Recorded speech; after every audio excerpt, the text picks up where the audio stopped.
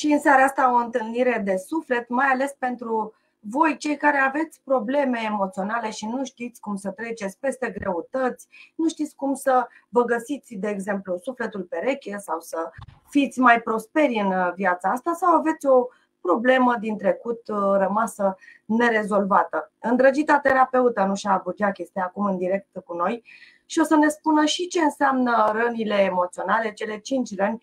Poate mulți dintre voi ați auzit despre cele cinci răni, dar mai ales cum să le vindecăm aceste răni, pentru că la fel ați auzit și asta că venim pe pământ cu o misiune și tot ce ni se întâmplă e pentru binele nostru suprem. Și atunci stăm să ne întrebăm, bun, ok, dar de ce trebuie să sufăr atât de mult dacă tot ce mi se întâmplă e pentru binele meu? De ce nu pot să fiu fericit dacă vreau să fiu uh, fericit. Nu și Bugeac, psihoterapeut, constelator familial și, evident, coach de dezvoltare personală, o să ne dea toate aceste răspunsuri. Bună seara, Anu, și ați mulțumesc că ți-ai făcut timp pentru noi. Înainte să începem, aș vrea să prezint și această carte, iată, nu și Bugeac, stai să o arăt să se vadă mai bine. Exercițiu de recunoștință. Îți mulțumesc pentru că mi-ai trimis și mie această carte și te felicit pentru că ai creat-o. Ai apucat să te uiți pe ea? Am uitat, da. da. Mulțumesc. E foarte interesantă și foarte uh, utilă pentru că, iată, uh, dai aici mai multe citate despre recunoștință pe zile. Deci, practic, este un program terapeutic pe care orice uh, cititor îl poate face la domiciliu. Sper să se și vadă ce arăt eu aici. Uh, dar este nu prea se vede. Nu prea se vede, dar în fine. Da, ziua 1 este despre motive, 10 motive de recunoștință, obiectul recunoștinței, mintea, emoțiile, corpul fizic, mama, tata, partenerul de viață, copiii, toți strămoșii, munca, șefii, colegii, colaboratorii, munca ideală, prietenii din copilărie și adolescență, prietenii actuali, darurile primite de la prieteni, foștii prieteni, viitorii prieteni și așa mai uh, departe. Deci, dragii mei, cumpărați această carte. Este o carte terapeutică, autor, invitata mea din seara asta, Nușa Bugeac. Bună seara! Bine te-am regăsit, Adriana, și îți mulțumesc încă o dată pentru invitație. Eu îți mulțumesc. Să știi că mulți uh, oameni vor să-și vindece rănile. Cei mai mulți au auzit despre aceste cinci răni cu care ne naștem, pe care le ducem cumva în spinare, ca să spun așa. Într-un fel sau altul? Fel sau altul de-a lungul întregii vieți. Întrebarea e cum să le vindecăm. Dar hai întâi să le spunem, da? să înțeleagă A, și care nu știu ce înseamnă conceptul ăsta de cele cinci răni cu care noi venim pe lumea asta, în viața asta pe care o avem.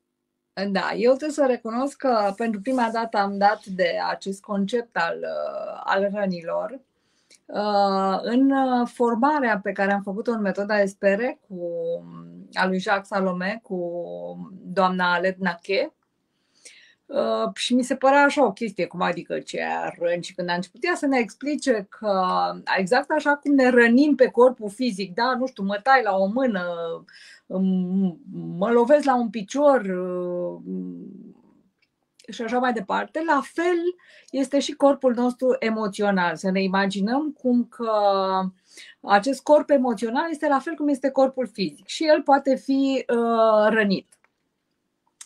Și acolo am auzit pentru prima dată de aceste răni, după care recomand cărțile Barbara, Barbara, Barbarei Ann Brennan, Uh, și Liz Burbo, celebra Liz Burbo, care le-a pus într-o formulă mai, uh, cum să spun eu, mai înghițibilă uh, decât uh, ceilalți.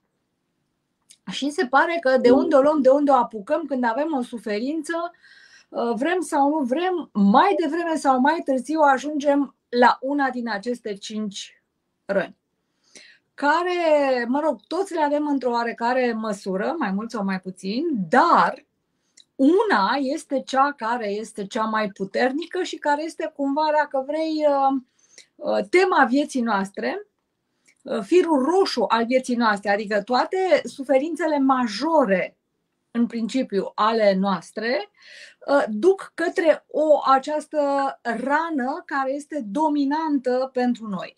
De-a lungul vieții, uh, în anumite momente, mai ies și celelalte, mai scot și ele cât un degețel, așa, cât un căpșor, cât o se bagă în seamă, dar se pare că una este uh, rana cea mai importantă. Uh, și hai să vorbim un pic uh, de ele. Uh, și uh, o să mă mai uit un pic în jos pentru că mi-am făcut și niște notițe, că, mă rog, multe le țin minte, dar uh, nu mă bazez de, pe memoria mea. Uh, am auzit o chestie care mi-a plăcut foarte mult. Memoria este foarte bună dacă este ajutată. Oh, da. Așa că mi-am ajutat memoria și am și un... Oricine. Da. Am, am și un documentel aici. Uh, și uh, o să încep cu uh, prima rană care uh, are uh, loc înainte de uh, a se naște copilul, apare, uh, este rana de respingere. Deci este vorba de atunci când părintele sau unul din părinți, mama, tata sau poate chiar bunicii Uh, resping ideea copilului. Nu-i timpul, nu-i momentul, nu voiam acum, uh, nu sunt pregătită sau nu sunt pregătit să fiu tată și așa mai departe. Deci această rană apare înainte de naștere, apare în pântecul mamei. Uh, după care urmează rana de abandon, care este prima rană care apare după naștere, atunci când copilul um, uh, este într-un fel sau altul îndepărtat de mamă. Uh, rana de abandon poate să apară, de exemplu, dacă mama este foarte bolnavă și nu îl poate alăpta și uh, copilul este ținut la incubator sau departe de mamă și această rană poate nu să. Conectarea mamă-copil sau dacă exact. mama la fel. Nu, nu, nu te-am înțeles. Dacă mama moare. Exact. Exact, exact. Sau dacă copilul este lăsat, abandonat, apare această rană de abandon. Uh, după care urmează uh, în prima copilărie, în copilăria mică. Stai că te-am pierdut, uh, nu așa? Apare rana de trădare, care această rană apare în copilăria mică, când copilul se simte trădat Adică probabil că ceva și-a pus încrederea într-unul din părinți sau uh, într-un bunic sau un, într-o persoană apropiată lui și îi este înșelată această încredere. Uh, după care, în stadiul de autonomie, uh, apare uh, rana de umilință, Uh, și de multe ori se întâmplă, mai ales atunci când copiii sunt uh, la grădiniță. Uh, deci eu chiar mi-aduc aminte o, un episod de când eram la grădiniță și unul din colegii mei a făcut pipi și doamna educatoare l-a adus în fața tuturor și, și ne-a spus ceva de genul, dar uitați, este mare rușine să, să faci că pipi pe el avea, nu știu, 4-5 anișori, ceva de genul ăsta. Uh, și mă uitam la bietul coleg care era, deci eu copil fiind și eu cam tot de aceeași vârstă, îmi aduc aminte acest episod, deși nu l-am trăit eu, adică nu pe mine a fost pusă umilința, ci pe un alt coleg. Uh, și acum, ca adult, pot imagina ce a trăit acel uh, copilaș atunci, acel coleg al meu. Uh, iar uh, în stadiul, în stadiul pubertății genitale uh, apare rana de trădare. Deci acestea ar fi cele cinci răni. Le mai repet o dată. Respingere, abandon, umilință, umilință trădare și neputință. Deci, cum o luăm, cum o sucim, cum o învârtim, ne, uh, ne învârtim cumva aici, în această zonă a acestor uh, uh, răni. și mai devreme sau mai târziu ajungem și înțelegem care este rana noastră dominantă. Bun, odată fiecare dintre noi ne putem da seama din situațiile de viață care e rana exact. dominantă. De exemplu, colegul tău care a fost umilit la grădiniță, cu siguranță și-a dus în spinare rana de umilință, cu siguranță a mai fost umilit și în alte situații, la locul de exact. muncă, în relație, poate în familie, uh, exact. cine știe. De multe ori rănile astea se transmit și transgenerațional, din generație în generație. Întrebarea este cum să le, uh, cum să le, cum să le putem vindeca. Hai să luăm de exemplu, uite, hai să începem tot cu rana de umilință. O persoană care simte tot timpul umilință în viața de zi cu zi, se simte umilit, se simte pus pe un loc uh, mai uh, prejos decât ar merita, se simte dat la o parte, se simte jignit de multe ori sau se simte neprețuit așa cum ar trebui. Ce ar putea să facă? Să-și vindece această rană. Uh, păi este uh, direct de lucrat uh, pe, pe rană. Uh, și, mă rog, o, form, o formă prin care se poate lucra rana de umilință este regresia. De a merge la primul moment în care persoana își amintește că a fost uh, umilită și poate fi de curând, după care se merge progresiv la următorul, următorul, următorul, până când se ajunge la un punct în care uh, foarte îndepărtat, în care copilul a fost umilit Uh, e posibil uneori ca rana să fie atât de puternică încât să nu se poată ajunge de prima dată sau de la prima încercare și atunci sunt de repetat uh, pașii până când se ajunge la un moment uh, din copilăria mică, din stadiul de autonomie. Măști, adică oamenii ca să-și exact protejeze practic sufletul și de alte răniri. Exact. Exact. Exact. Exact și, uh, de exemplu, la. De exemplu, umilința, cum se vede în corp? Dureri de spate, nu? Uh, da, deci uh, masca pe care și-o pune o persoană care a fost umilită este masca masochistului. Este o persoană care cere dă-mi atenție, bagă-mă în seamă, uh, nu mă vezi și așa mai departe, dar în momentul în care îi se dă atenție și așa, a, dar nu acum, dar nu în acest fel, dar, deci cere, dar în același timp rezistă în a primi, respinge a, în a primi ceea ce cere să îi se dea spunând că nu este timpul, nu este momentul, nu este adecvat ceea ce îi se dă în acel moment vorbim acum de rana de umilință. Rana de umilință. Hai să vorbim de rana de trădare, de exemplu. Rana de trădare ce mască are? Ah, rana de trădare. Uh, rana de trădare are uh, ca mască controlul. Sunt acele persoane fric control, pentru că ele au fost trădate și atunci au nevoia ca tot timpul să știe ce se întâmplă absolut tot, să controleze și să știe tot în orice moment pentru a evita să mai fie trădate. Și tocmai datorită acestei presiuni de a ști tot timpul ce, cum și în ce fel se întâmplă, uh, vor fi trădate, pentru că ceilalți, datorită presiunii care uh, persoana o pune pe cei din jurul uh, său, vor spune ca persoana Uh, și uh, vor face ca ei. Adică dacă tu mă tot presezi, mă presezi, mă presezi să fac ca tine sau să știi ce se întâmplă sau unde sunt sau așa, voi zice, da, sunt acolo, dar eu de fapt nu sunt acolo. Și tocmai prin asta uh, îți uh, aduc trădare. Pentru că nu fac ceea ce am spus. Deci te trădez, îți trădez încrederea. Da. În corp cum se vede uh, rana de trădare?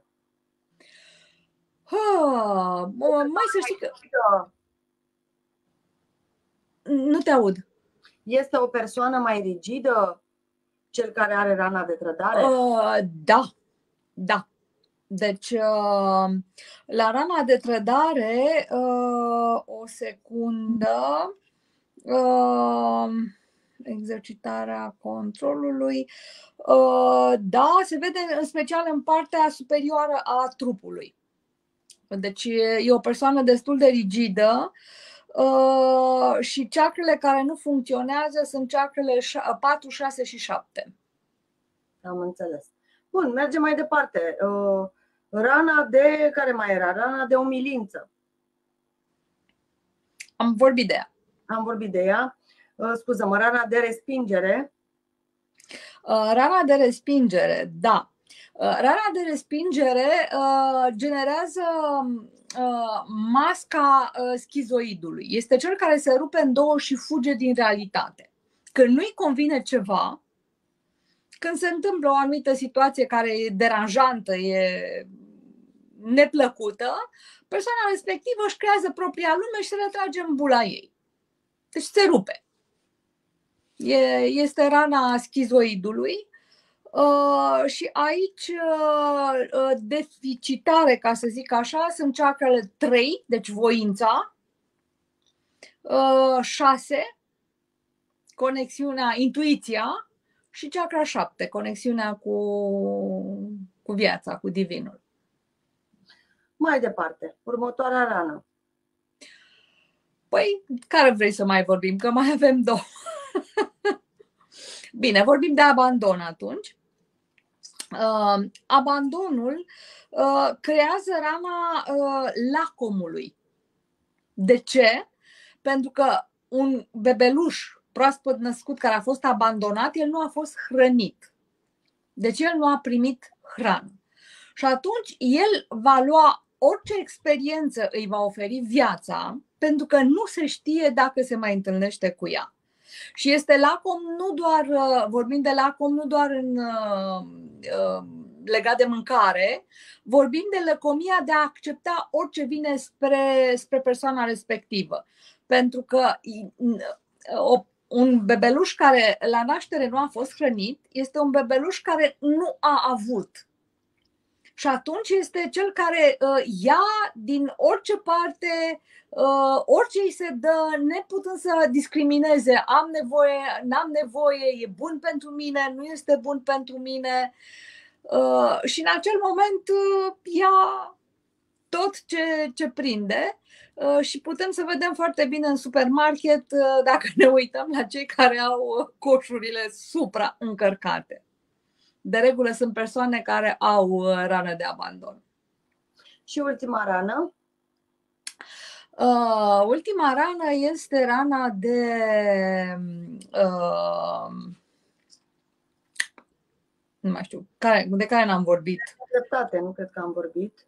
De, da, da, da, da, da. Deci n-am vorbit de rana de nedreptate, uh, care pune masca rigidului. Uh, nu, asta era trădarea.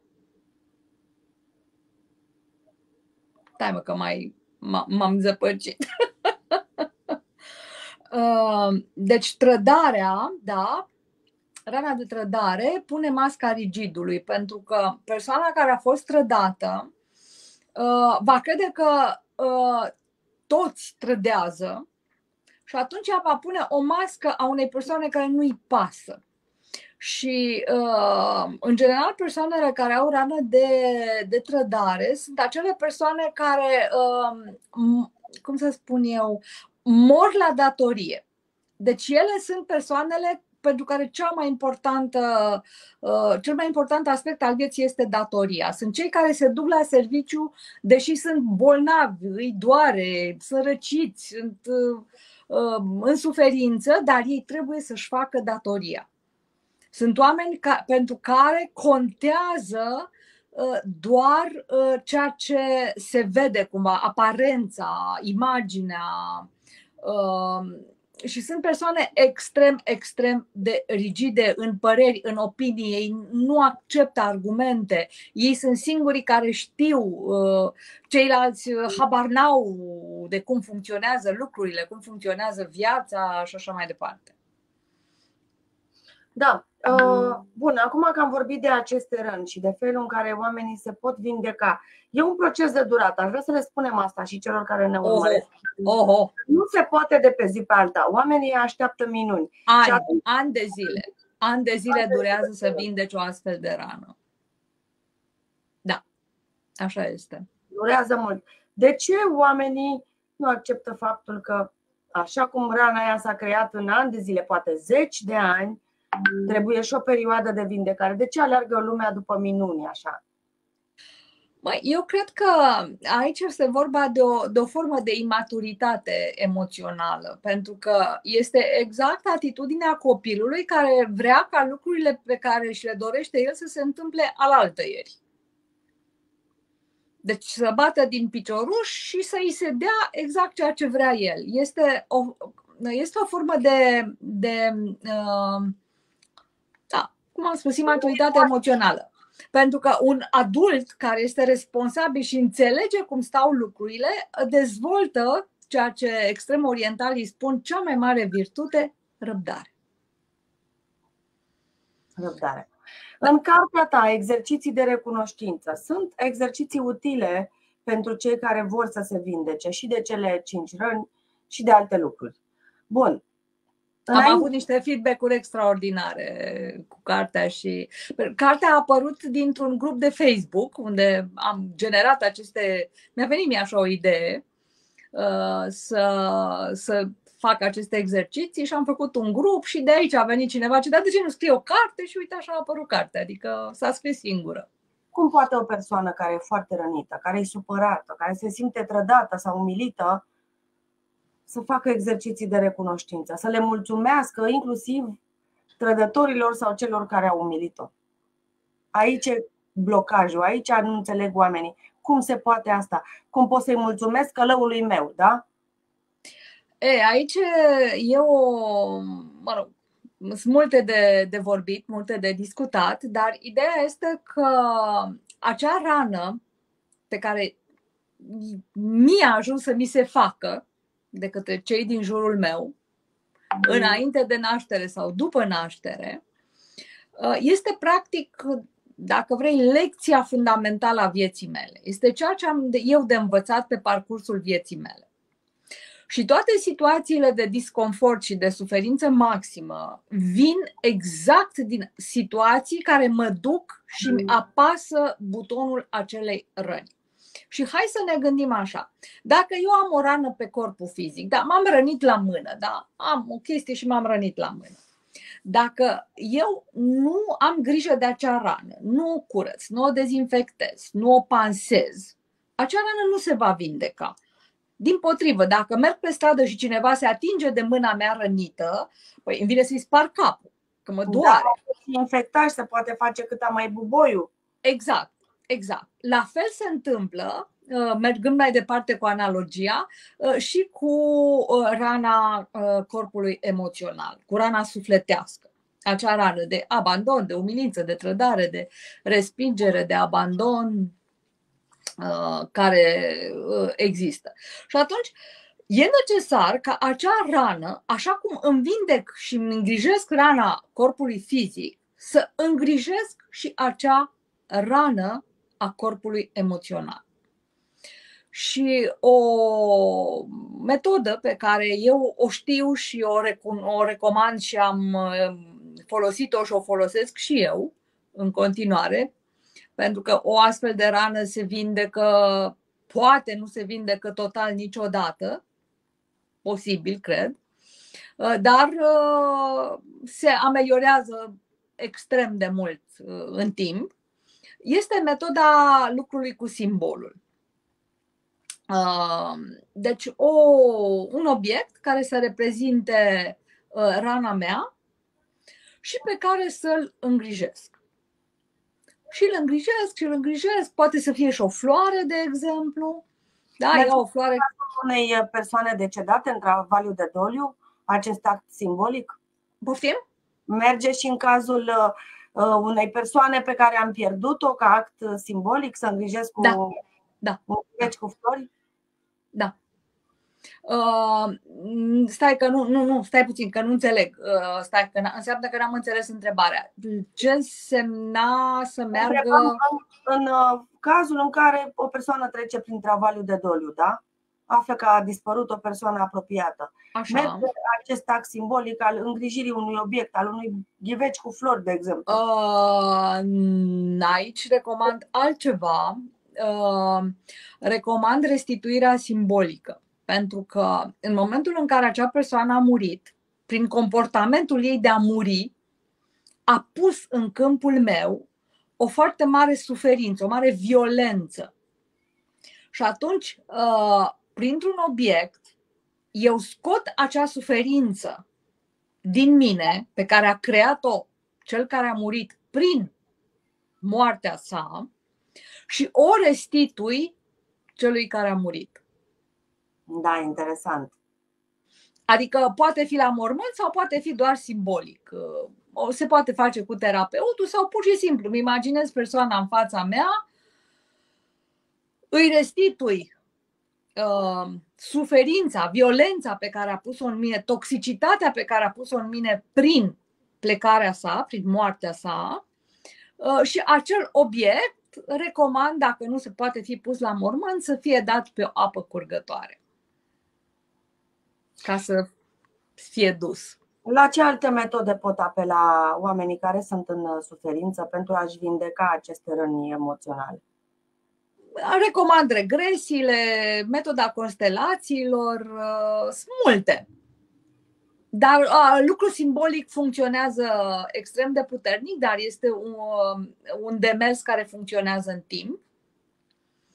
Uh, regresiile și constelațiile sunt metode ceva mai uh, rapide, dar nu se exclud.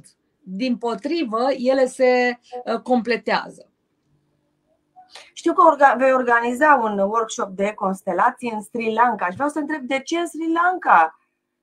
Uh, acolo mi-a fost oferit uh, spațiu în acea perioadă, prin bunăvoința unor uh, colaboratori și prieteni care au acolo deja organizate două retreat de yoga, respirație, nutriție, conștientizare. Și a rămas o perioadă liberă și mi-a venit ideea, da, de ce n-aș merge și eu cu ei? Și mi se cere de ani de zile să organizez o tabără de constelații, am tot vrut, a venit pandemia, exact când vreau să o, să o organizez în 2020 uh, s-a întâmplat întâmplarea, uh, iar acum uh, a, a venit așa, ca un fel de dar.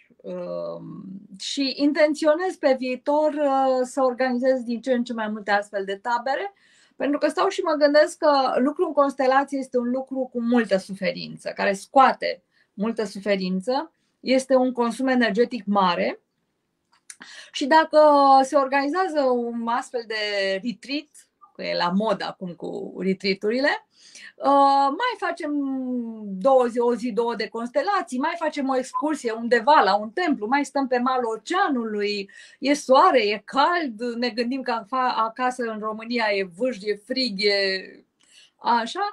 Și atunci uh, putem procesa mai ușor uh, suferința care iese și ne putem încărca mai ușor uh, bateriile ca să mergem mai departe. Cum se pot înscrie persoanele interesate? Mă pot suna pe mine pe numărul meu 0731 764 630 Uh, îmi pot da mesaj uh, pe pagina mea de Facebook la Taină cu Nușa sau pe contul meu personal de Facebook Nușa Bugeac. Uh, și cam atât. Și cât costă? Că lumea întreabă, domne, m-aș duce, dar dacă costă nu știu cât, că nu avem bani, criza facturilor, uite tot ce se întâmplă. Așa, așa, așa. Mai, eu zic că prețul este destul de rezonabil tot ce se întâmplă acolo, cu excursii, cu tot, cu cazare, cu masă, cu, mă rog, taxa mea, este 7000 de lei pentru 10 zile, plus biletul de avion. Și, mă rog, mai taxa de viză, mai sunt câteva cheltuieli, dar care nu sunt extrem de mari. De ce ar veni o persoană la un retreat de constelații în Sri Lanka? Dăm câteva motive. Uite, nu m-am gândit, dar uite, acum uh, ies așa ușor din mine. Uh, în primul rând, pentru că uh, e un lucru, e, o, uh, e un lucru intens. Deci, spre deosebire de o zi sau două zile de constelații, să faci șapte zile de constelații, aproximativ consecutiv, că nu sunt chiar una după alta, sunt o zi, două, pauză, încă două, pauză, încă două, adică nu dăm și o pauză pentru a se reface. Uh, apoi uh, este o zonă absolut uh, senzațională. Eu nu am fost, dar mi-a fost recomandată și am văzut fotografiile prietenilor și colaboratorilor mei care merg acolo de câțiva ani și știu foarte bine locația și ce se întâmplă acolo. Sunt templele care sunt senzaționale din ce am văzut și le-am, le-am simțit de la distanță. În pachet intră și un masaj făcut de unul din uh, colaboratorii mei, Octavian. Uh, există și o, un um, atelier sau o consultație cu o altă colaboratoare de-a mea, Adelina, care se ocupă de nutriție conștientă și ne face să înțelegem uh, care este relația noastră cu hrana, pentru că este o relație fundamentală. Noi ne hrănim, dar nu ne hrănim doar corpul fizic. Noi ne hrănim și corpul emoțional, ne hrănim și corpul mental, ne hrănim și corpul spiritual. Și există o foarte mare legătură și interdependență între aceste trei corpuri, pentru că ajungem să supracompensăm prin hrana fizică ceea ce nu uh, hrănim uh, celelalte corpuri. Și apoi ne întrebăm de ce kilograme în plus, de ce, de ce boli și așa mai departe, boli legate de nutriție. Uh, vor beneficia și de o sesiune de uh, yoga, în principiu cred că yoga respirației, depinde ce idei va avea la momentul acela uh, Adrian, cel care se ocupă de, de așa ceva în retriturile pe care el le-a organizat acolo oceanul, baie în ocean, 20, m-am uitat pe prognoză, 20 și ceva, 27 de grade apa oceanului, uh, soare, relaxare, uh, un loc absolut fabulos, plin de verdeață, oamenii sunt extrem. Eu nu am fost în Sri Lanka, dar am fost în India și mi s-a spus că sunt mai uh, haioși și mai uh, drăguți și mai binevoitori decât în, uh, în India. Deci, uh, uh, e un fel de combinație, dacă vrei, între uh, relaxare și muncă spiritual-emoțională și dezvoltare personală. Felicitări! Felicitări pentru această idee. Pentru cei Mulțumesc. care din diverse motive nu ajung în Sri Lanka, organizez constelații și în România, te da. pot contacta clienții și pentru asta? Da, deci următorul atelier este pe 19-20 noiembrie, aici în București și cred și sper că de curând să încep din nou constelațiile online. Să-mi fac uh, avânt, pentru că le-am întrerupt, am zis eu pentru o lună, dar uite că sunt deja două, trei luni și toată lumea din afară mă, mă cheamă și mă roagă de să le încep, că au teme de lucrat, adică noi avem treabă și tu șomezi și nu dai drumul din nou la constelații. Hai să le spunem celor care ne urmăresc și ce înseamnă o constelație sistemică.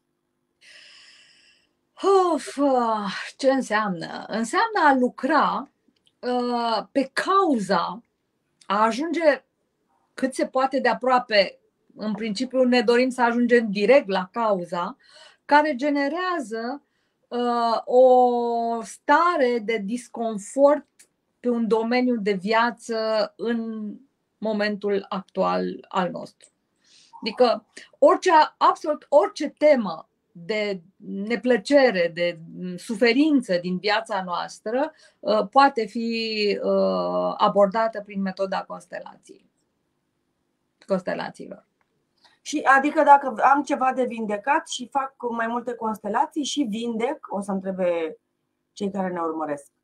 Uh, mai uh, răspunsul este nu se știe, pentru că am avut situații în care, după ce a lucrat o temă, o anumită persoană, am fost sunată a doua zi pentru că îi era îngrozitor de rău, o durea foarte tare capul pe uh, doamna respectivă, pentru că ea la nivel uh, de întreg refuza uh, vindecarea uh, care s-a produs și s-a uh, generat uh, lucrând situația în cadrul acestei metode. Și când am făcut-o să conștientizeze de fapt de unde venea durerea, deci era respingerea vindecării, pentru că aducea în uh, partea materială, în planul vieții de zi cu zi, o schimbare pe care ea nu era încă dispusă să o accepte și să o integreze în viața ei. Da, da, da. Bun, și acum, dacă ne referim la aceste exerciții de recunoștință, ce recomandări ai pentru cei care ne urmăresc? Cum să practice aceste exerciții de recunoștință? Mă, eu am înțeles ceva, pentru că eu inițial uh, m-am gândit și am vrut să fac uh, uh, un uh, grup în care să fac niște exerciții pentru abundență, având și eu la momentul respectiv probleme de abundență. Dar tot uh, studiind uh, aspectul, am înțeles că n-ai cum să ajungi la abundență dacă nu ești recunoscător pentru ceea ce este. Motiv pentru care uh, am început și am început să gândesc chestia asta uh, în termen de recunoștință. Uh, și am înțeles tot pe pielea mea, gândindu-mă puțin așa la trecutul meu, că nu suntem recunoscători pentru ceea ce avem. Și, nu știu, un mare savant sau un mare om a spus chestia asta, nu mai țin minte cine, că suntem capabili să apreciem ceea ce avem abia atunci când pierdem, în momentul în care pierdem. Și uh, m-am stat și m-am gândit, zic, dar de ce n-am fi recunoscători înainte?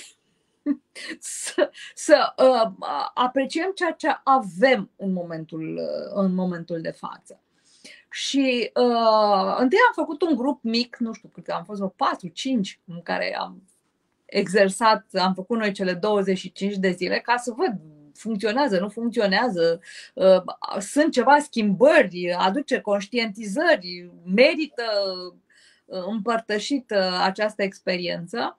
Uh, și am avut niște feedback-uri absolut extraordinare de la persoanele foarte apropiate cu care am pornit acest program.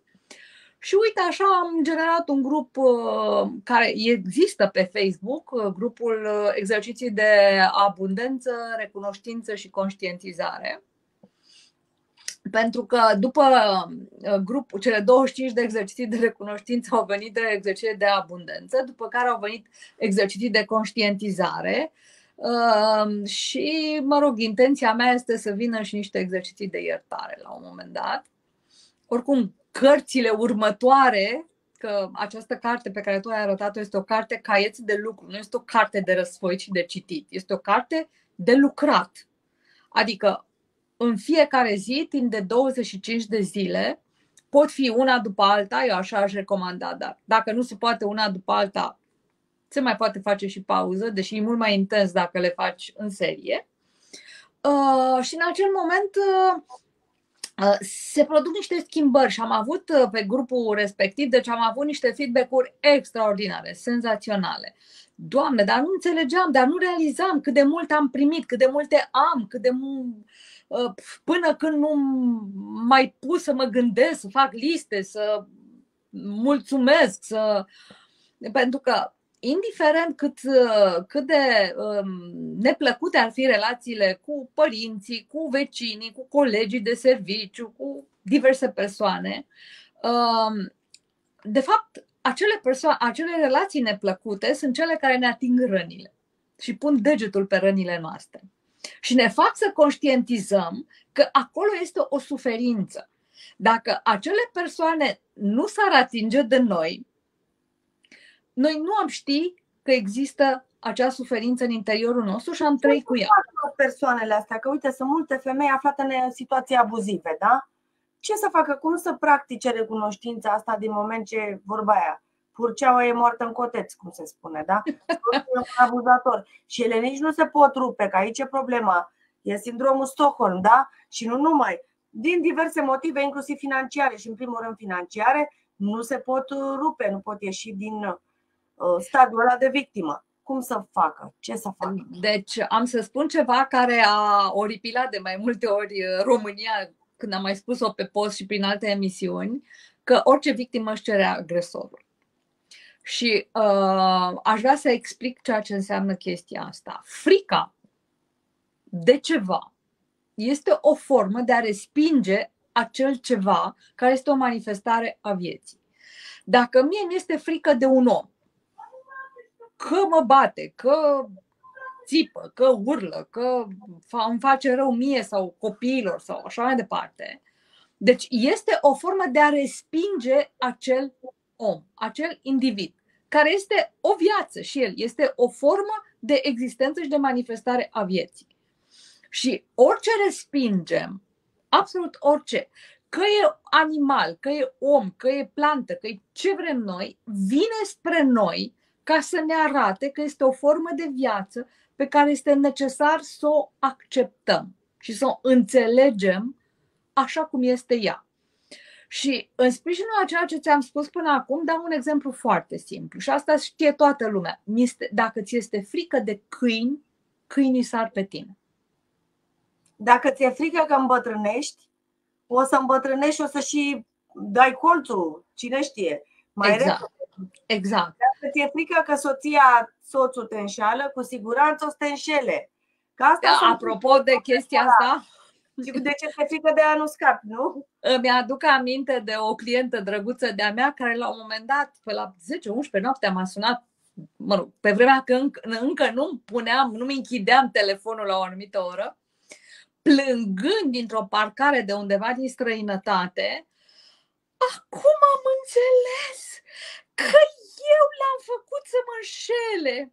Și jumătate de oră a plâns în telefon că de fapt ea a atras uh, comportamentul de a fi înșelată prin felul în care îl controla, uh, uh, voia să știe tot, uh, punea presiune pe, pe iubitul ei și mi-a zis, am înțeles că îl iubesc, că eu am făcut, omul nici măcar n-a șelat-o, doar ieșise la discuție cu o colegă de serviciu pentru că nu mai suporta uh, acuzele respectivei.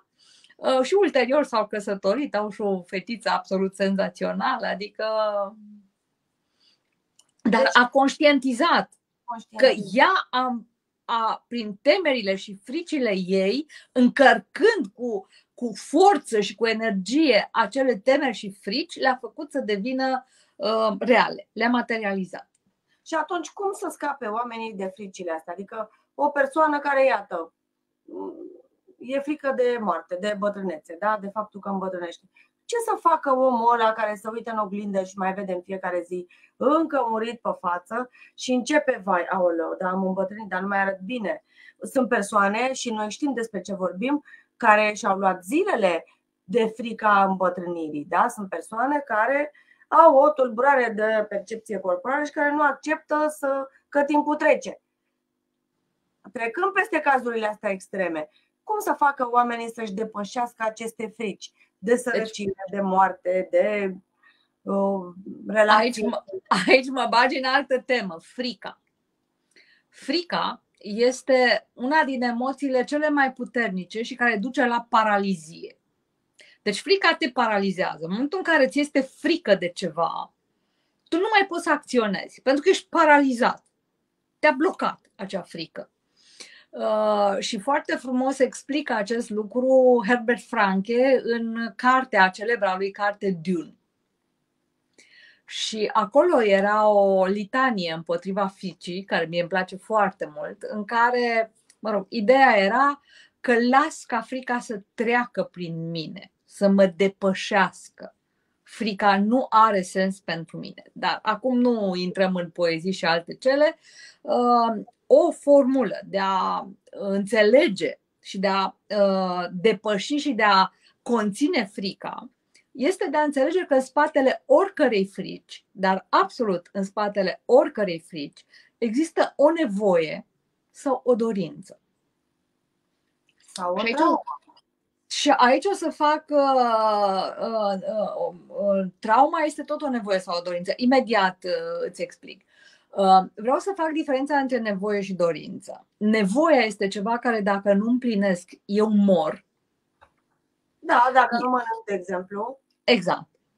Iar dorința este uh, nevoia ridicată la rang de moft, de fiță. Vreau o savarină, că mi-e foame. Exact. Eu îți dau pâine cu unt și tu zici, a, nu, eu nu vreau pâine cu unt, eu vreau o savarină. E, atunci stai și crapă. Eu îți dau pâine cu unt. Da. Uh, iar în spatele unei traume, de fapt, este dorința sau nevoia de a nu suferi, de a nu trece prin același uh, moment uh, de teroare, de uh, suferință prin care am trecut în momentul în care am fost traumatizat. Deci tot o nevoie sau o dorință. Și atunci, în momentul în care noi put, suntem capabili să vedem care este nevoia sau dorința din spatele fricii, pot fi mai multe, dar este una care este cea mai puternică. Și ne centrăm și ne ducem pe împlinirea nevoii sau dorinței, în momentul respectiv schimbăm polaritatea. Nu mă mai centrez pe ceva ce mă paralizează, pe frică, ci mă centrez pe nevoia mea care îmi dă forță și putere să acționez. Și uite, o să iau un exemplu. Uh, mi-e frică să pic examenul care îl dau peste două zile. Da? Ce nevoie am sau ce dorință există în spatele acestei frici? Păi, e posibil să nu vreau să pic de proastă.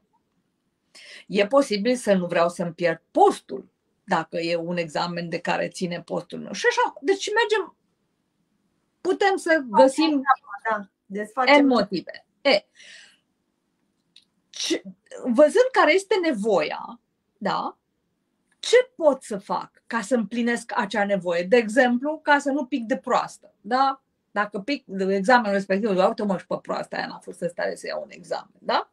E, ce pot să fac? Păi, pot să învăț mai mult, pot să-mi pun pile, pot să-mi fac copiuțe. Deci există multe căi de acțiune ca eu să pot lua acel examen. Și atunci nu rămân în frica că nu voi lua examenul, ci fac o acțiune care mă scoate din paralizie și din frică. Foarte interesant, da. Dacă ar fi atât de simplu să-și vindece oamenii fricile, am fi cu toții fericiți. Să știi că nu e complicat, Adriana, dar e, e necesar un pic de, de conștientizare și de asumare că ține de mine. Totul e în mine, e în mintea mea, în scenariul meu, în energia mea.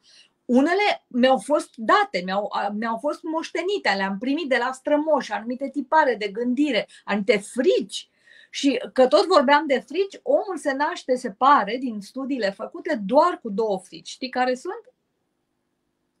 Frica de moarte și frica nu. de boală. Nu? Nu. Nu. Care? Frica de înălțime Așa. și frica de zgomote foarte înalte. În rest, toate fricile sunt învățate. Sunt învățate. Deci că principala frică azi a oamenilor e de moarte, da? De moarte și de boală. Sau de sărăcie. De suferință, de fapt. Da. De bo- boala înseamnă suferință, adică spune un da. egal. Boală egal suferință.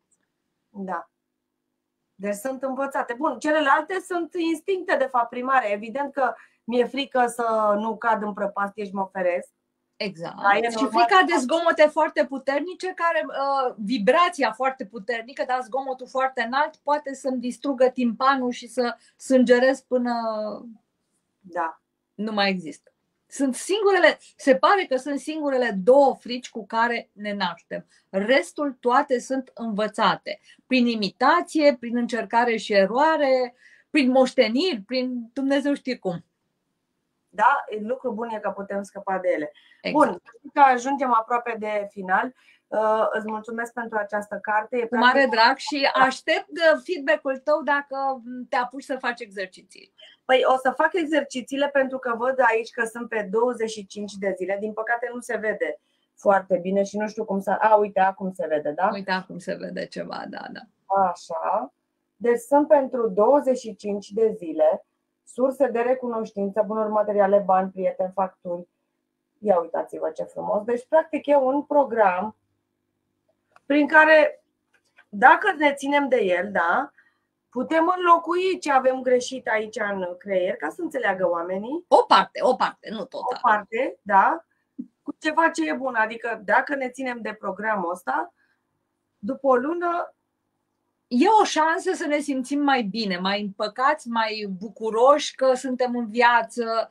De exemplu, una din uh, cele mai importante, cred eu, uh, uh, motive de a fi recunoscători este că deschidem ochii în fiecare dimineață și că marea majoritate dintre noi suntem sănătoși. Avem doi ochi, avem două mâini, două picioare, vedem, putem mânca, putem auzi, pentru că sunt unii care nu au toate simțurile și toate membrele și și totuși sunt oameni foarte tonici și știu un uh, speaker motivațional care nu are mâini și nu are picioare. Și uite că a reușit. Nu așa, îți mulțumesc, draga mea, succes la workshopurile de constelații. Mulțumesc. Sunt metode terapeutice de care oricine poate beneficia și eu vi le recomand cu căldură. Am participat la un asemenea workshop și am văzut ce face acolo. Nu? Și te mai aștept. Cu mare drag. Cu mare drag, îți mulțumesc frumos. Și eu mulțumesc, mulțumesc pentru invitație. Care ne-a urmărit și succes în Sri Lanka. Deci dacă vreți ocean, căldură și o distracție, râs, plâns, masaj, respirație. Sunați-o pe Nușa și mergeți tocmai în Sri Lanka. Mulțumesc, draga mea, și vă mulțumesc și vouă pentru că ne-ați urmărit. Sunt multe metode terapeutice. Important este dacă simțiți că aveți o problemă, să apelați la un profesionist. Ăsta e primul pas spre vindecare. Faptul că recunoașteți că aveți o problemă, că sunteți nefericiți, că vreți mai mult de la viață și vreți să știți cum să faceți. Mergeți la un specialist. Asta este ideea. Mulțumesc tuturor, dragii mei. O seară bună vă doresc. Mulțumesc, Nușa. O seară bună și eu mulțumesc. Seară bună.